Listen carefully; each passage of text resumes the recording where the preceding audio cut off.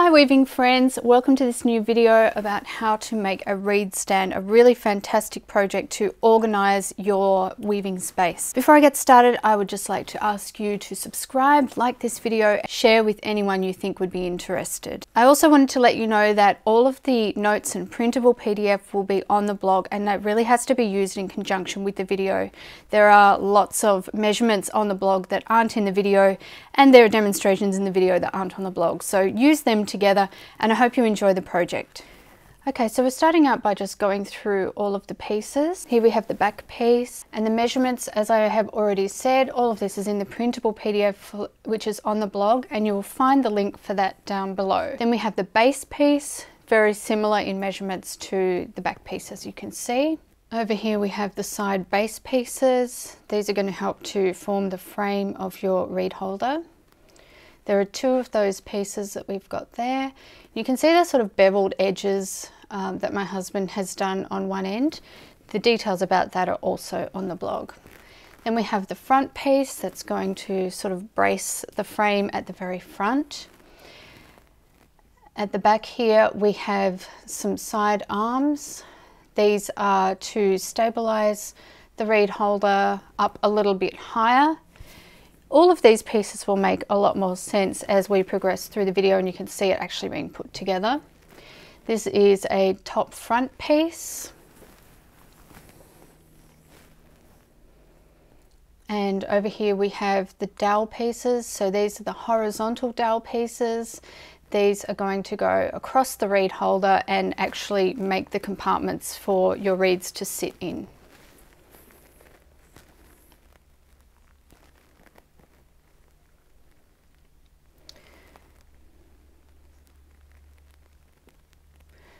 Then we have the vertical dowel pieces. There are two of those and they once again are more to stabilize at the front.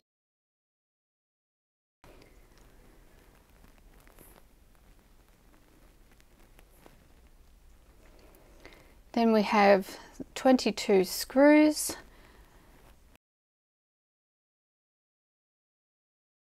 Um, and what my husband's showing here is that you can use this different type of screw that has a square head as well. It just depends on what you've already got.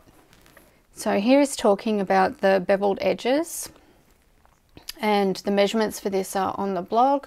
But yeah, basically he's measured those pieces, cut the edges off or the corners off and then sanded them so that they look nice. That's an optional thing, but it does look really nice. Okay, so here we're having a look at the drill bit with the screws. So my husband said if you don't know the sizes of your drill bits, a good way to measure is to hold it up in front of the screw. You'll be able to see the teeth of the screw behind the actual drill bit. Body of the drill bit and the screw will be the same size. So here's the part for drilling the holes. On the back piece, you measure down 21 centimetres and drill a hole, and you measure another 2 centimetres, so 23 centimetres from the top, and drill there. From the bottom up on the back piece, you're going to drill up 14.5 centimetres and another one at 6 centimetres and each of the holes are one centimetre in from the edges. So down the bottom, two centimetres from the side and drill a hole. So we can have a look at those holes here, just so that you can see them a little bit better. Okay, so we've got the 21 and the 23 centimetres down there, one centimetre in. From the bottom going up, we've got 14 centimetres, drill a hole and then it's six centimeters up. Once again, they're one centimeter in from the edge. Except for the bottom, they are one centimeter up from the bottom and two centimeters in from the edge. This is the base piece now. Here we're measuring five centimeters in on both sides, one centimeter in from the edge again. Then halfway along, which is 31 centimeters, you drill a hole on either side. and then at the other end you measure two centimeters down and one centimeter in from each side and drill holes there. Now we've got the base side pieces.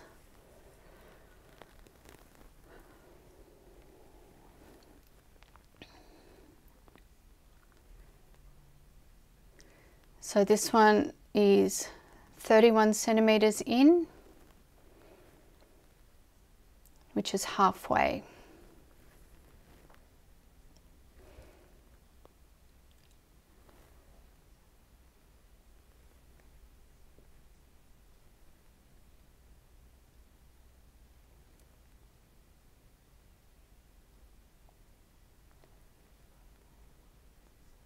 The next hole is two centimeters in from the bottom and the top one is five centimeters in. On the end, we drill in five centimeters from the base and two centimeters from the top. And then at the front, on the edge, we drill a hole five centimeters up.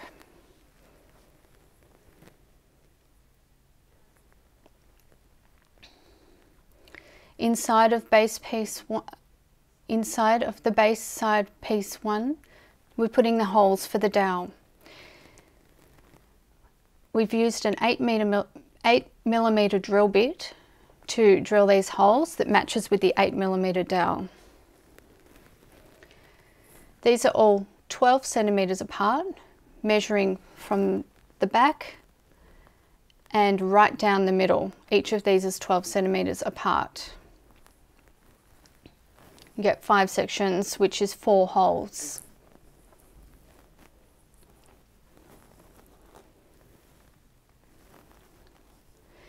These holes are all about seven millimeters deep. Now this, here's the front piece. Measure two centimeters in from both sides and one centimeter up and this one is two centimeters down and one centimeter in and then the dowel holes at the edge are one centimeter in and seven millimeters deep. For the upper side arms, we're doing 12 centimeter increments again, still with that eight millimeter drill bit and halfway across or in the middle of the piece. Once again, the seven millimeter depth. At the end there, you measure in two centimeters and I think it's one cent or 1.1 centimeter down. Yeah, 1.1 centimeter from the end. Measure one centimeter up from the bottom of the arm and 1.1 down from the top. So that's on the end of the arms. Now for the upper front piece, measure two centimeters up from the bottom and drill a hole, one centimeter in from the edge. Now, before you use any of your screws, it's great to just rub them across some candle wax and it makes it so much easier to drill them in or screw them in. So now we've got the back piece and we're attaching that to the base with the screws. You can choose to drill the screws in or you can just put them in with a screwdriver as my husband's doing there. So that's the back piece. I'm going to lay it on its side. And then we've got one of the base side pieces. So you can see the dowel holes there and you lay that on the inside. We'll get a different angle on that in a moment so that you can really see how it's looking on the inside and we start to screw that into the into place with all the holes that we've pre-drilled. So there you can see how it's laying on its side. And we're going to pop those screws into place. All of your drill holes should line up. If you're wondering why some of our drill holes look a little bit bigger um, this is just the drill holes I'm talking about, not the dowel holes. It's because my husband actually put this together and then took it apart again to do the video. So some of our holes are a bit bigger because they've already had screws in them. That's the only reason why. And then um, you can tighten things up at the end once you've got all of your screws in with the drill, electric drill, if you need to. My husband's also, he found that he needed to drill an extra hole in the middle of the base um, and the, the back piece where they attach. He felt like it just needed that extra little bit of stabilization and so he chose to put an extra hole right in the middle and then to pop another screw in there and once he did that then the back and the base piece came together a lot more nicely. So now he's got the other base side piece and that goes on the side like so. But before we actually drill that in, we pop the horizontal dowel pieces in. They don't need to be glued. They wedge very nicely into those holes that we've drilled for the dowel. And once your other side base piece goes on and the, the dowel's all wedged into those holes as well, it's very stable and there's no need for glue there. The only time we use the glue is at the front dowel pieces where it needs that little extra bit of help. So you fit all of those dowels into the holes on the opposite side as well until it all seems stable and then finish off the screws that you started at the back. Now this reed holder cost us about 30 Australian dollars in new timber. Of course it doesn't include the fact that we already had a handsaw and an electric drill but it's a very cheap option because they're quite expensive to buy ready-made.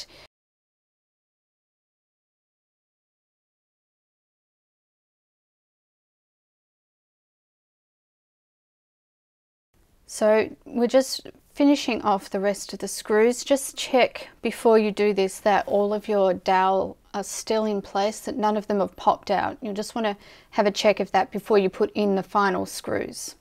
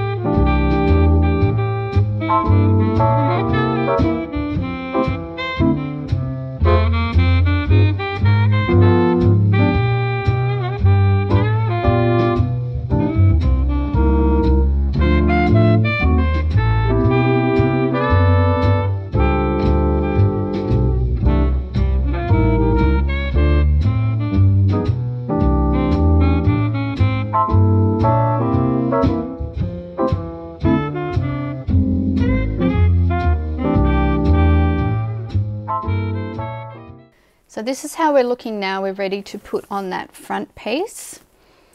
This is finalizing the frame of the reed holder, making everything sturdy. So we're just going to put the screws in there in the holes that have already been drilled. You can see here um, what I was talking about before that the holes look a bit bigger because they've had screws in them previously. So should have four screws in the front there.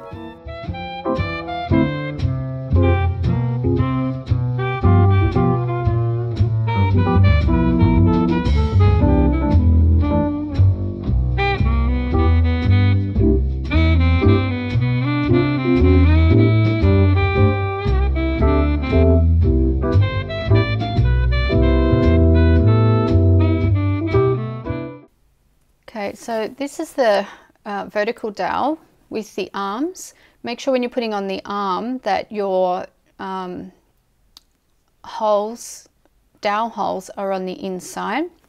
That's going to be important in a moment. That vertical dowel at the front is just resting the arm there for us at the moment. We are going to glue that in place afterwards, uh, but it's just to hold that arm straight so that we can get that screwed in first. Two screws for that one. You need two screws to stabilize it.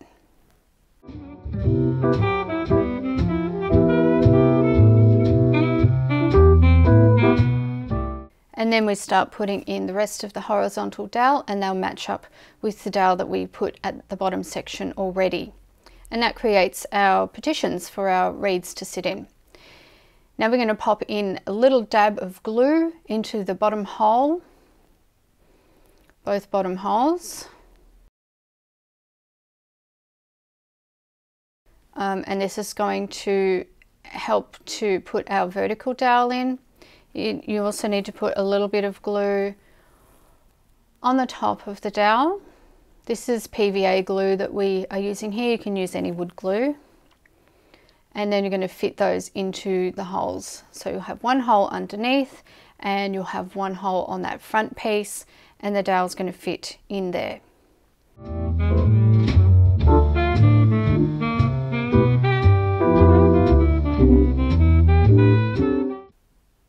These vertical dowels are to help hold the whole frame in place.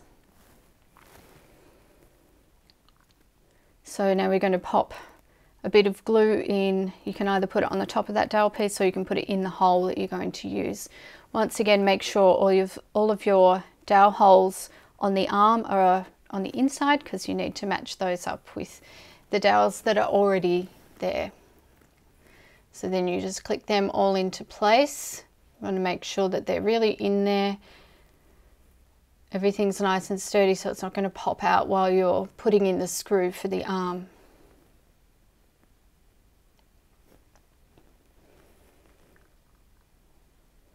So you can probably see at this point that it doesn't take all that long. Once you've got all of your pieces prepared, all of your pieces cut, all of your holes pre-drilled, it really doesn't take very long to actually get this reed holder together.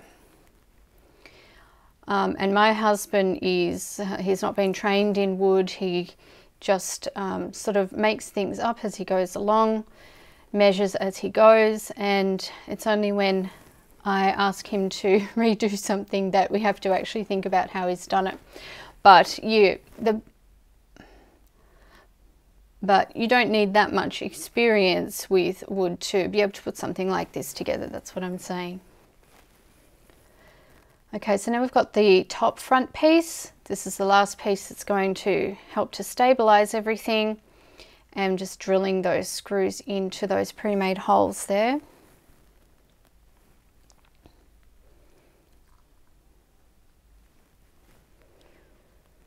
And we do the same on the opposite side.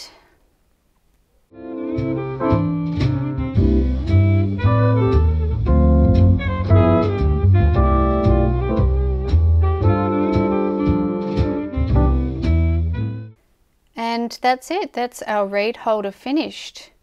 Uh, I should have mentioned at the start that if you want to stain or paint your reed holder, that would be easiest done before you actually assemble it. So grab all of your pieces and you can stain them or paint them or decorate them however you want to. Let them dry completely and then assemble all of the pieces. I think that'd be much easier than trying to do that at this point. You can see here how um, you can just put your reeds in there vertically.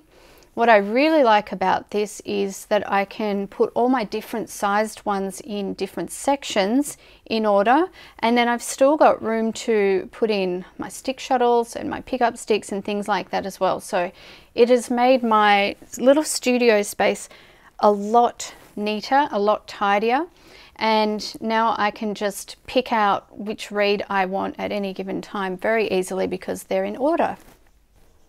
I hope you enjoyed this project and if you did please give us a like and a subscribe.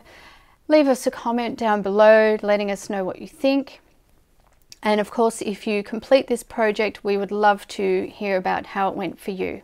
Well that's it from us today folks. Until next time, happy weaving!